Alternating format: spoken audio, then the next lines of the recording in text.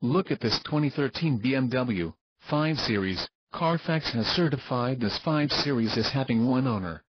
This 5 Series has just under 66,500 miles.